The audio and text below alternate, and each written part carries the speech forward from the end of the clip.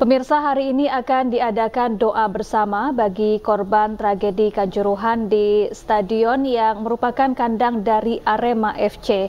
Dan untuk mengetahui situasi di, di lokasi, sudah ada rekan kami Nata Arman di sana. Selamat sore Narta, bagaimana situasi di stadion jelang doa bersama yang akan digelar pada malam hari ini?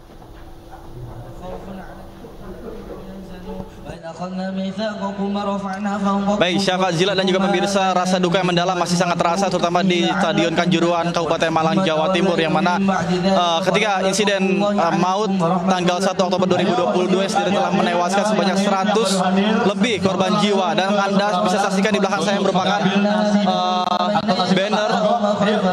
ada 130 nama yang ada di sini. Dan memang untuk hari ini juga telah akan dilaksanakan doa bersama baik itu dari pihak berbagai supporter. Dari uh, baik dari Jack kemudian ada bonek mania dan juga beberapa supporter klub bola lainnya. Dan tidak hanya supporter saja pemirsa bahwa ada juga dari uh, doa bersama dari lintas agama baik itu dari agama Islam Hindu Kristen dan juga beberapa uh, elemen masyarakat lainnya. Karena memang uh, hari ini bertepatan dengan uh, tujuh harian dari peristiwa insiden maut tersebut.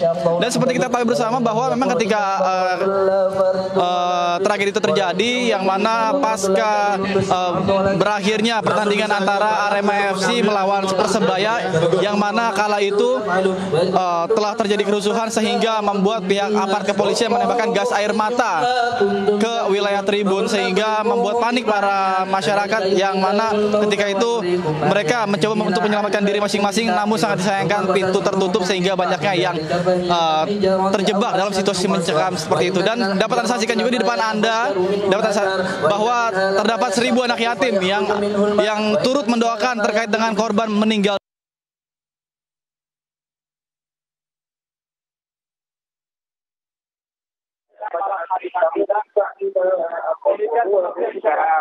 Konstruksi langsung satu-satu dihimbau untuk para tamu undangan dan hadir sambil membantu membaca surat al-ikhlas sambil menunggu hataman